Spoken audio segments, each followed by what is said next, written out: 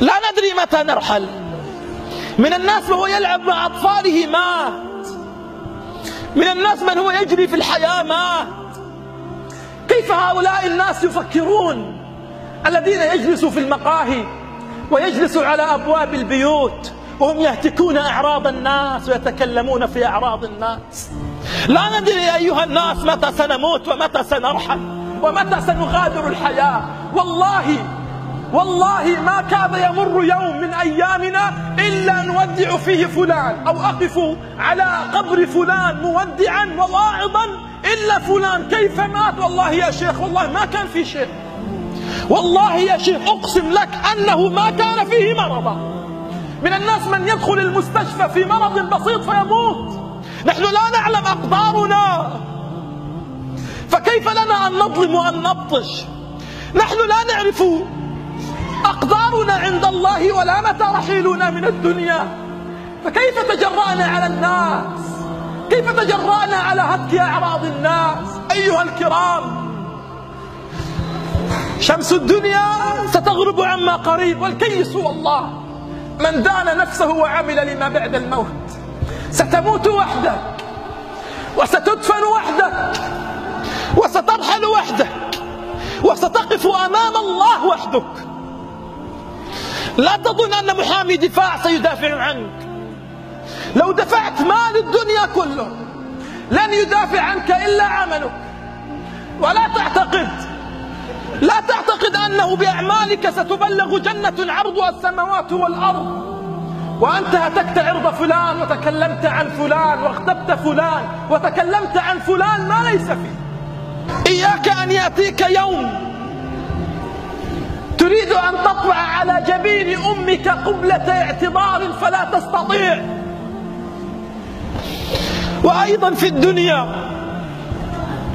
إياك أن يأتي يوم تريد أن تضع قبلة اعتبار على من ظلمته أو على من هتكت عرضه أو على من اغتبته أو على من تكلمت في ظهره وطعنته. إياك أن يأتي يوم فتراه موسدا ميتا فلا تستطيع أن تضع قبلة اعتذار. صفوا حساباتكم في الدنيا. ويل لكل همزة لمزة. قال ربنا جل في علاه ويل. هذا الويل أيها الكرام واد يسيل صديد من أهل جهنم وقيحهم. همزاء لكل مغتاب. لمزاء لكل من طعن الناس وتكلم في أعراضهم. يأتي يوم القيامة العبد فيعرض كتابه أمامه فيرى أن في كتابه زنا وشرب للخمر.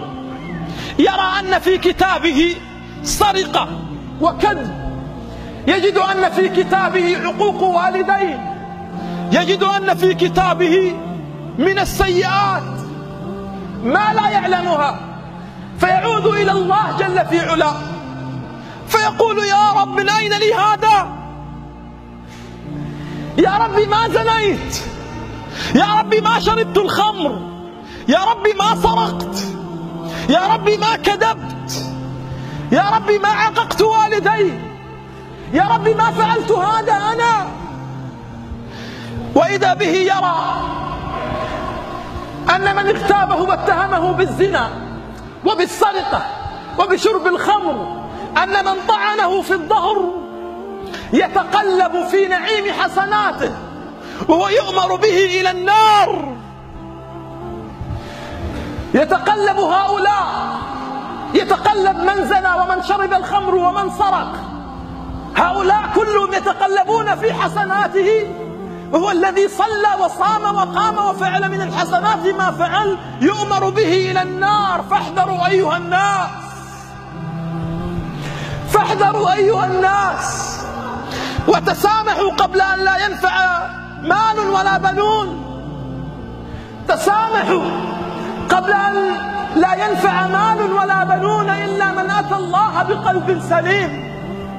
إذا كان لك عند أخيك مظلمة إذا كان عند أخيك خطأ أو غيبة أو نميمة اطلب السماح قبل الرحيل.